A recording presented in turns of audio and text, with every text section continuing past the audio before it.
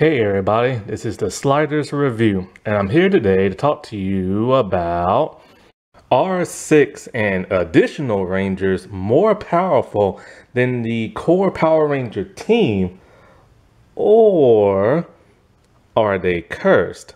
So, I love additional Rangers. Back in the day, they used to be called Six Rangers until, of course, the Disney era came around and they started changing things up because of that of the Sentai. And so, you know, I really do love additional Rangers. Their costumes are cooler, their morphers are cooler.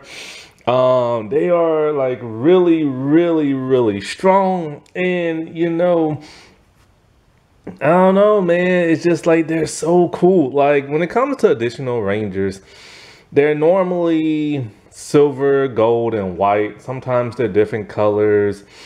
And so, like, when it comes to the Lightning collections, I end up collecting those a whole lot more than your core team. They're just so boss, you know what I'm saying? But I've noticed something. There is a fundamental flaw in the whole additional ranger thing.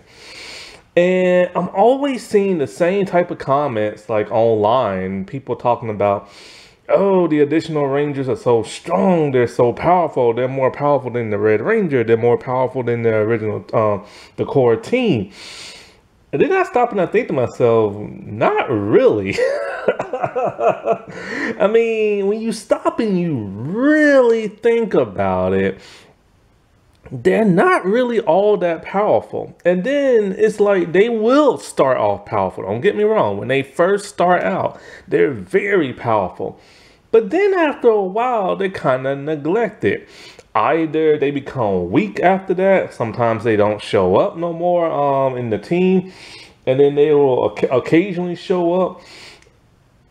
Their personalities go from either being really strong to really weak or silly or goofy. And I've noticed a lot of the alien additional rangers always have the same trope of either their world being destroyed, their world's being conquered, their people being enslaved, their people are dead. It's always one of those type things. And so I'm wondering, maybe additional rangers don't deserve the hype that they are given. And that's really sad to say because there's been a lot of cool additional rangers. But when you stop and think about, when you really stop and think about it, the Power Rangers writing team tends to not really know what to do with them or don't really want to seem to focus on them. Like, okay, some good examples. Let's go all the way back to the beginning. Let's go all the way back to Mighty Morphin, to where it all started. With that of the Green Ranger. When Tommy showed up, you know, like he was like, you know, put under a spell to be the Green Ranger. And he was evil. He was kicking Heine left and right. He put Zordon in a different dimension. He disabled Alpha. He messed up the command center. He put Jason in an alternate dimension type thing, so he had to face Goldar, which left the team at four, scattered and bewildered and everything he was just um, tough. He was just boss level and everything. And he didn't even have a weapon at that time. He was just kicking butt. Then he was given the sword of darkness and he was really tearing it up. Then he was given his dragon dagger and his dragon sword. And, you know, he had a cool costume. So the thing about additional Rangers is that, like I said before, the Morphers are either similar to the Ranger core team or they're completely different. Their costumes are basically completely different. And most times they come with like a shield vest. And so when he was no longer brainwashed and joined the team, then the cracks started to show. Like, you know, he was still a cool character out of costume, the civilian form, right? But then it's like, you know, you started to notice something. He kept leaving his morpher behind or something like that. Or his morpher would get taken. And so the Rangers would do their thing, you know, fighting the monster. Then he'll show up and like bust the move and everything. And then the core Ranger team would take out the monster. Very rarely do we ever see him take out the team. And, you know, when they ran out of footage and had to go to like season two and everything. And Saban paid like Japanese creators to create more content and everything. They started making Tommy a bit more of the focus and everything, you know. So like we'll see him do some cool thing. I remember that was that one episode. I think the Rangers got. I think they was put in some monster's stomach, and only him and Kimberly were the only ones left.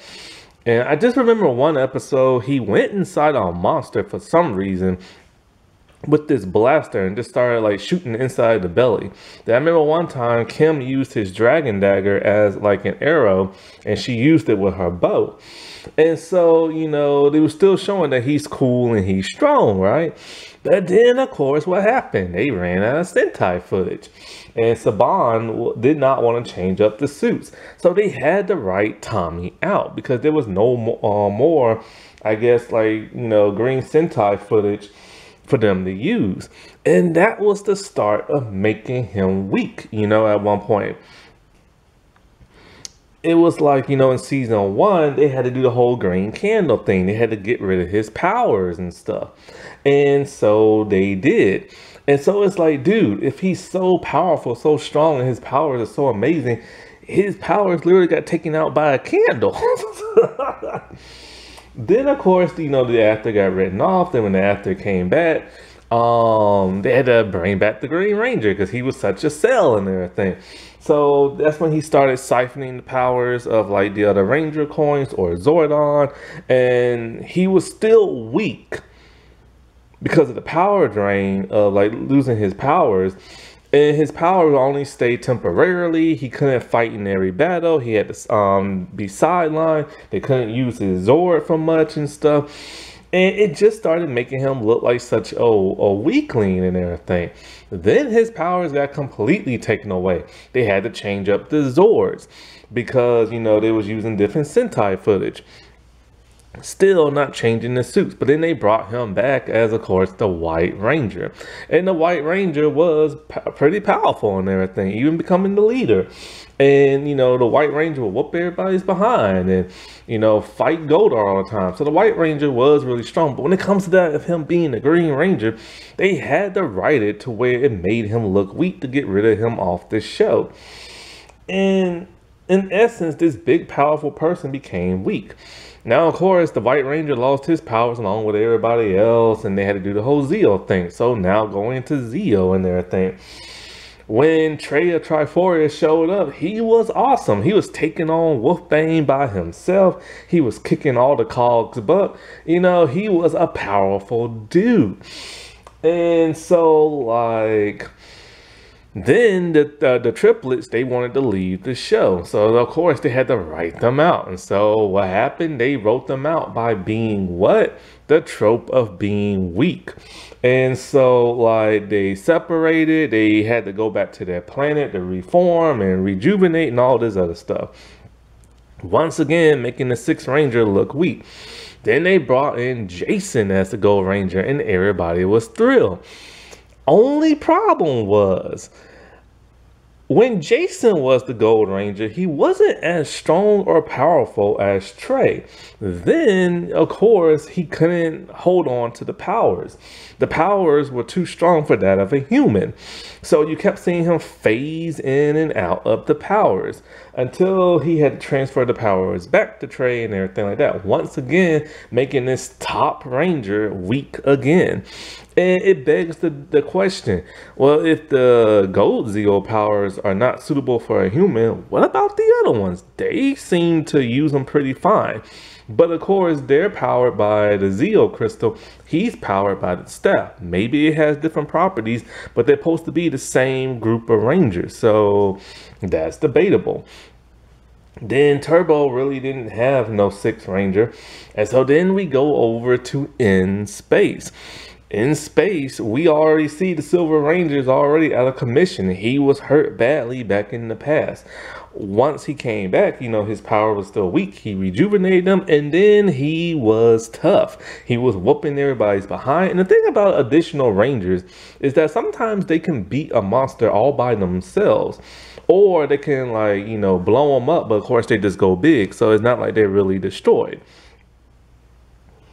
But then I noticed something. Once again, the additional Rangers started missing a couple of episodes. They wrote him to where he had to go look, I think, for like his people or something like that. Because what happened? He came from a planet that was like conquered and everything by evil, and his people got misplaced um, throughout space. And you know, some of them were enslaved, and he had to rescue them. Always that trope of like the alien additional ranger. And so, like, he would come back. He would always come back with a new vehicle or something, and it was really strong. And for the most part, Zhane was pretty strong. He was just written to be silly. That's another problem with additional Rangers. After showing up and being cool, then they start to become immature for some bizarre reason. It's like, why make your top dollar, or your top draw, I should say, um silly and everything. He was carefree, and this is a trope that will plague a lot of additional rangers. Let's see, Lost Galaxy didn't really have a six ranger Magna Defender. People don't really know to call him a ranger, a ranger knight, or what, or just an ally. So let's just skip that season. Then we get one of the most coolest seasons ever, like Lightspeed Rescue. Why? Because we had our very first American Ranger. He was the Sixth Ranger. He was evil, another trope and everything for an additional Ranger. So he's evil and everything. And so like um he's really strong when he's evil. Then what happened when he became good? The same trope. He starts to become a little weaker and everything. He gets that tattoo on his back and that starts to like drain him and hurt him. And if he uses his power too much, it will bite and destroy him. So once again, they're making the toughest ranger of the team weak and everything. Once he gets it off, then what happens? He goes off and um and look for a way to get rid of the demons. Why? Because there is no Sentai um titanium like Sentai person. So Saban was cheap and didn't want to keep making original content. So he just wanted to use the Sentai. And so we got robbed the very first American Ranger. And he disappeared for the remainder of the series until the end.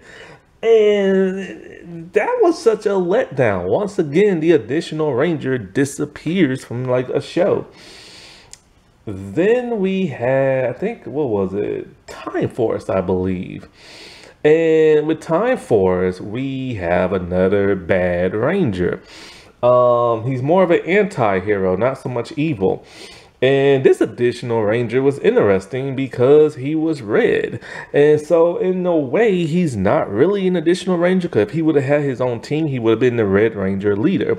But since he's part of this team, not officially, he is considered a sixth ranger and he was extremely tough. He could destroy monsters on his own. He had his own mega battle and everything. And but the problem is, is that like you know he would disappear from the show because he's not really part of the team. So he would do things with his own like you know police force type people, and then eventually like show up and stuff. And for the, for the most part, Eric was tough until the ending when he had to give his Morpher up to um that of Wes and everything. He was hurt, of course. then we have Wild Force. And Merrick was somebody who's lived for like over a thousand years, was evil when he came back and everything got free, did the whole loner thing, then he came back. I don't really remember too much about Wild Force. I really don't like that season. But you know, they have the trope of him and his since it's been a thousand years, his people are all dead. So that's that tragedy that he has. He's not really so much an alien. Actually, I don't know what the heck he is and stuff. But he was really powerful and stuff. Um, but like I said, I don't really remember much. So let's go on to Ninja Storm. And Ninja Storm is very unique. Ninja Storm starts off with a core team of three. They get two additional Rangers, making it a five team, but their two additional Rangers' costumes are different than theirs. Their morphers are different than theirs. Are the Thunder Rangers considered additional Rangers or just part of the team? See, it's a bit confusing because they're technically part of their own team. But for the most part, let's just consider them the core five. So then that would make Cam the sixth ranger and he's samurai completely different from ninja. His costume's awesome. His morphers just kind of eh. i mean it's a spear ball so whatever but his costume is awesome. One of the best green ranger costumes we ever had since tommy. And he's really powerful but then i noticed something. He got his butt kicked the next time like you know he went off on his own. Then all of a sudden he just doesn't really fight with the team that much. He's mostly at ranger ops and everything. And I just remember thinking to myself, why is he always at ranger ops and he's now a ranger?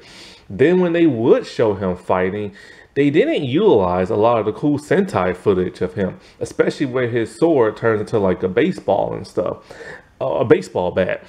And so, for the most part, it was mostly the core Ranger team that seemed more powerful than him. And I believe he was the first to get his powers destroyed and everything. So it's kind of like not only will he disappear being at Ranger Ops, but he will constantly get his butt kicked and stuff. What happened to this amazing green samurai power we heard so much of and he went on a journey to go get? So once again, they kind of make him weak in that regard and stuff. Then we have another tricky season, Dino Thunder. So we have Tommy, who's the Black Ranger, and Tommy got his powers um, at a different time than the core three Rangers, and his morpher is different. His costume is similar to theirs, but he has like the shoulder like guards and everything. And but for the most part, he does look very similar to them, even though his morpher is different, and he has an addition to that of like you know his outfit and his weapon is different from theirs on his side. But for the most part, let's consider him the core four. So then Trent will be the additional ranger, and he is the fifth. Well, he's another evil ranger who possesses the power of a dragon and stuff. And his power and his weapon is that of a dagger. Isn't that interesting? Just like, you know, the first Green Ranger, but also turns into a sword. And then the Green Ranger had a sword at one point. But anyway, Trent was started off evil and everything. Trope that's been used way too many times with additional rangers. Um, he turns good but after that, he does appear with the team a lot. Um, and he's a really good fighter and very strong. But for the most part, they just kept having him fight his clone a lot after that.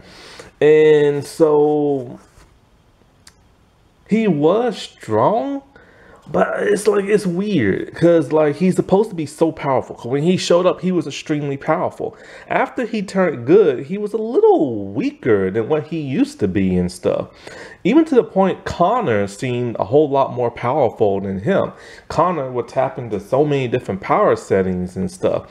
And it's weird because sometimes when you do have that additional ranger, the Red Ranger, um, sometimes even the core team, but mostly the Red Ranger always seems stronger. Why is the Red Ranger stronger if technically the additional Ranger is considered the strongest? Then you have SPD. Then we have multiple, like, you know, um, additional Rangers and stuff. We had Kat Ranger, Shadow Ranger, and Omega Ranger. And one's black, white, and the other one's kind of white, orange. I don't know really what to call her. But, like, you know, Doggie Cruger the Shadow Ranger was extremely boss when he showed up. Then he will only show up if the Rangers ever truly really needed him. So he was kind of not really there helping the team out that much. Then once Omega Ranger showed up, he mostly was um, Shadow Ranger basically sidelined after that. and the Omega Ranger showed up a lot as the additional Ranger. And he's very powerful. His powers come from the future, not that far um, ahead, maybe 10 years in the future. Um, because he looks like an adult, or at least in a teen, when he takes his helmet finally off. And Sam was no more but like a 10 something like that year old boy. So probably like 7 or 10 years past. And since like the monster came from the future, his powers came from the future, he was really strong, very tough. But in that first appearance, the core team proved to be stronger than him. And I don't recall Sam really destroying any monsters on his own unless it was a team up episode and stuff. And so it's weird because this dude literally can make his hand like, you know, vibrate very quickly and move at a fast pace to catch bullets and stuff. The other Rangers can't even do that, but yet the other Rangers as a core team were strong enough to defeat this monster from the future who's supposed to be very powerful.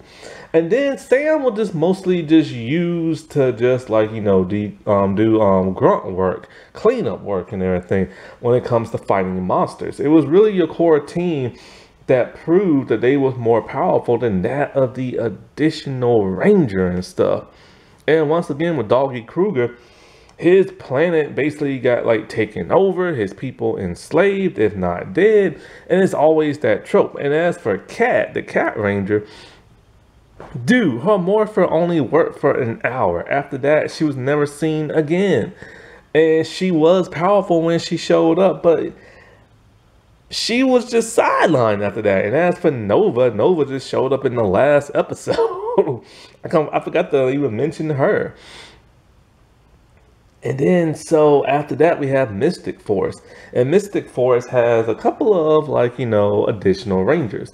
A White Ranger, a Gold Knight Ranger, and then I guess Leanbow is still considered a Red Knight Ranger. Well, Udonna had her staff taken from her and she was no longer able to morph into the White Ranger. So she got completely sidelined throughout the entire series.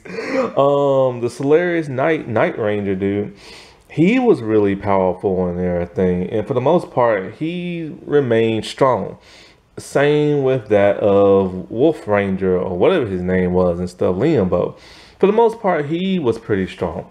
But once again, the, but then they got their powers taken from the main bad guy. But the core team proved to be stronger than the additional Rangers. It's like the additional Rangers are just there for like a boost or a pick me up to help the team out, but then the core team is still strongest. And so, what season came out there? Oh, Operation Overdrive. And we have Tyzonn. Tyzonn came in. Um, did he come in bad? I think he did. Then he turned good. Then he turned to a Ranger, and he was really strong and everything. Then they did the trope of once again his planet being destroyed. Once again, he's kind of vacant from the team and kind of disappears. Doesn't always morph with the core team. And then I remember one episode with him and Rose, they made him silly and kind of goofy because he's an alien. Now, I do like it when they make the aliens aloof and not really know what's going on on Earth, but they made him a little too silly at times. And so here's this very powerful, very strong ranger, once again getting reduced to either a comedic relief role or a vacant role and stuff. Um, Jungle Fury is one of those unique seasons again. You have, you know, the um purple and rhino ranger who's white. And but you know the Purple Ranger is weird. Is is he an additional ranger or is he part of the core team? Because we have a core team of three again. And so he comes in, his morpher is different, he's very powerful. Then you have that of the Rhino Ranger, he's very powerful. However, the Purple Ranger is a hippie who talks weird, and then the other additional, like, White Ranger is just a silly comedic relief character and stuff. I don't understand why they make them the supposed most powerful very comedic. And then you have the, you know, the former masters and stuff like that and that the, they had the um the spirit ranger form or whatever and they couldn't morph into those. Those those animal spirits and everything. So those Rangers always got sidelined and everything. What was next of this? RPM. RPM is different. You have first your core three. Then you get two more that get added on there and they have different morphers. But for the most part, those next two are cons um, considered part of the core team. Then you have the Silver and Gold Ranger who are really truly considered the additional Rangers. Their morphers are different, but their costumes still look similar to the other ones. Problem is with those two, the twins, they're goofy, they're silly they're a little kooky in the head. And once again, we got that trope of they're silly rangers and everything. They're immature rangers. And they're not aliens that are aloof in the head. They're just silly and everything. And so they're really powerful. They love making things explode, but they're just so silly. And they're not really all that powerful, to tell you the truth, after a couple of episodes of getting introduced. As for Samurai and the Gold Ranger, I don't remember much about Samurai, so I can't really talk about it. So I don't not really all that familiar with Antonio other than he is the comedic relief. Once again, we got that trope. And then we have that um, the Mega Force show. I don't consider Robo Knight a Power Rangers. I don't know why people do. Um, but Orion meets that trope again of like, here he is a comedic um, type ranger. He has a little bit of immaturity to him. His planet got overtaken and everything. Um, he is a silver ranger. He is very strong though. It's been a good while since I watched it. But for the most part, he is like really strong. So he doesn't necessarily fall under that curse, but he falls under the curse of the trope of, oh, look, my planet got taken over and my people been enslaved. Like, so, you know, it's always that trope. And so we got Dino Charge next, which is a season with multiple Rangers. My God, they, the additional Rangers could form their own team and everything. And once again, these additional Rangers are scattered throughout the show. Some of them don't show up until like 10 episodes later and everything. And then once we get to that one alien dude who's like a bird, once again, here we are with another planet being overtaken or destroyed. And he starts off bad and, you know, um, this is Z-Wing or something like that. And then, you know, he turns good and then, you know, he's pretty powerful and all this other stuff. And then Talon Ranger, who was never truly a Ranger, you know, planet got taken over, got turned evil, blah, blah, blah, you know, stuff like that. Supposed to show up in Cosmic Fury and stuff. And we saw the footage of him and, you know, and it's just like, once again, you got all these additional Rangers and Dino Charge and yet they're really absent from the show and everything. And they're not really all that powerful. A lot of them aren't. Oy, I swear. Eh, as for Ninja Steel, their Gold Ranger was pretty powerful. So I can give him a pass. And I don't remember if he showed up a lot because I try to block that season out my head. Then, of course, you have Beast Morphers. And Beast Morphers is one of those unique seasons again. You have a core of three, but then your next two Rangers are silver and gold. And I don't remember silver and gold being all that powerful. Silver is nothing but comedic relief, and gold is just a child prodigy who, you know, is nerdy and geeky and stuff. But once again, you know, they're not the most powerful on the show. Then you have Dino Fury. And I got some things to say about that Gold Ranger. I don't understand um, Aiyon. I really don't understand Aiyon at all. When he first showed up, he was very, very, very powerful. Then after that, mm, he still is powerful, but he falls under the dumb trope of being a silly ranger. Granted, he is an alien, and once again, his planet been overtaken, and people are like, you know, scattered and stuff like that. Once again, we go through that trope. It's like the American people don't know how to write anything other than that for like, you know, the additional Rangers. But then here's the problem. He was arrogant when he first showed up, wanted to lead the team. He didn't want Zayto to be leader. But then quickly after those first two episodes, when he showed up, he became the comedic relief ranger to the point of being beyond aloof and to the point of pure immature. Not as immature as the RPM silver and gold, but he was a close second to them. I get it, he's the alien, he's gonna have that aloofness.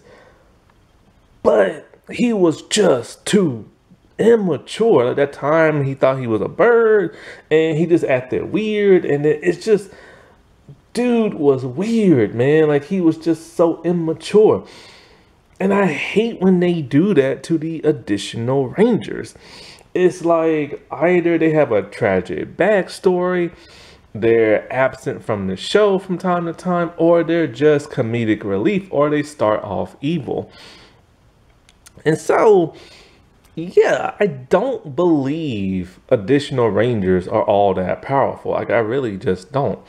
I think they're like a bit stronger than the core. They're like a pick me up booster type ranger. But other than that, once you get like at least after their introduction, after their intro, um, introduction, they become very weak after that. They're constantly getting their butts kicked. Um, they're getting their powers drained and stuff like that or taken away.